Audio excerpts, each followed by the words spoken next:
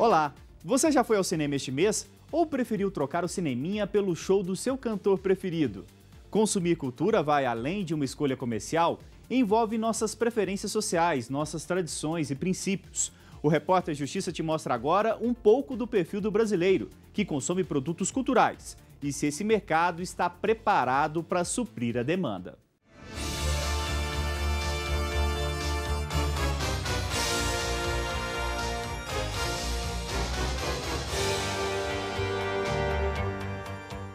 Você já deve ter ouvido pelo menos um trechinho do musical Fantasma da Ópera.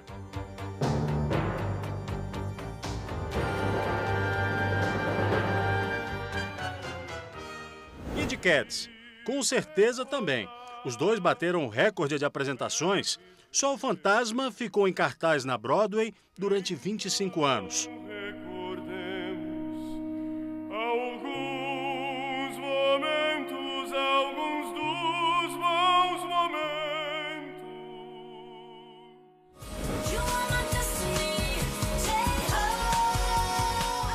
Quer ser um milionário, então?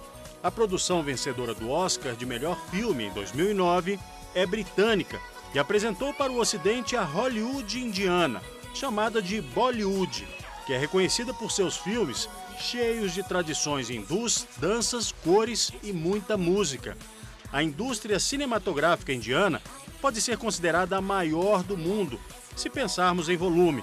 São lançados entre 800 e mil filmes por ano.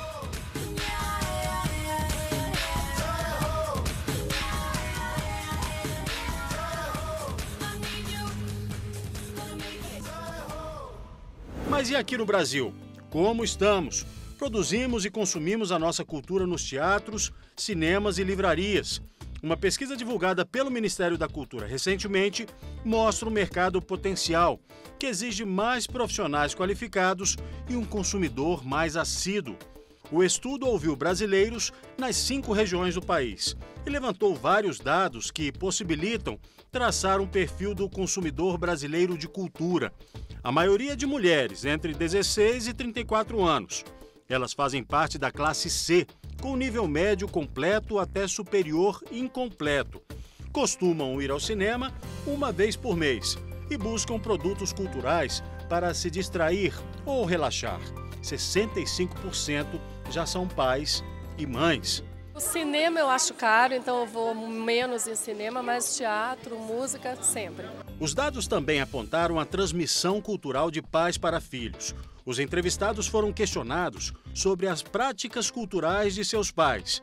Os números mostram que a relação entre pais e filhos ainda pode melhorar quando o assunto é cultura, por exemplo. Apenas 30% dos pais costumam ler livros para seus filhos. 26% já levaram os filhos ao cinema.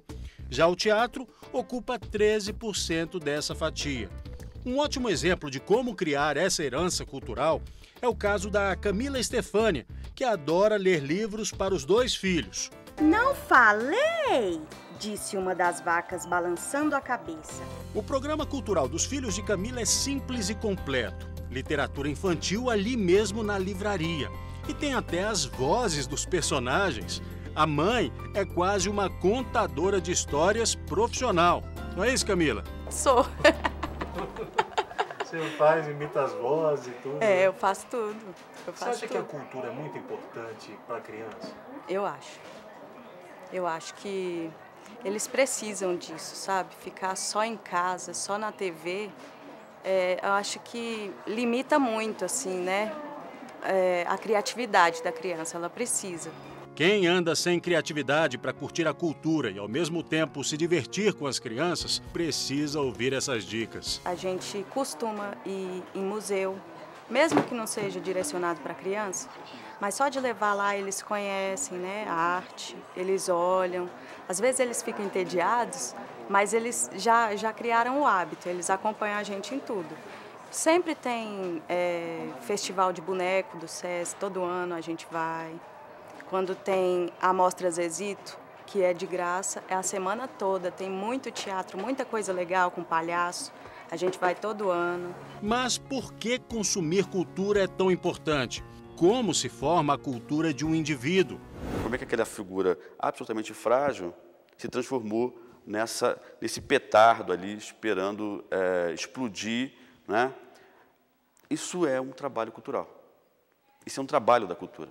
Né? É, a, é, é a vida cotidiana dessa criança participando, ouvindo os pais, os irmãos, os amigos falarem, e ele captando, e aos poucos participando dessa trama é, de sentidos que são compartilhados, que vai empoderar essa criança para que ela possa se tornar um agente humano de fato. Além da visão apresentada pela antropologia, a ciência que estuda o ser humano, a cultura também pode ser o modo como as pessoas dão sentido à vida, a tudo que está em volta.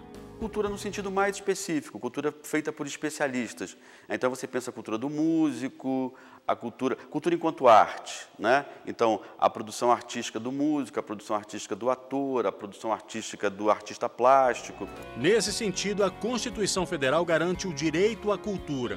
O artigo 215 expressa que, além do acesso do cidadão, é responsabilidade do Estado incentivar, valorizar as manifestações culturais bem como proteger a cultura popular, indígena e afro-brasileira, ou seja, a identidade nacional. Enriquece, a gente conhece outros mundos, né? Se aperfeiçoa na, na, na, vivência mesmo, a gente consegue comparar como seria, como seria uma realidade diferente da nossa, né?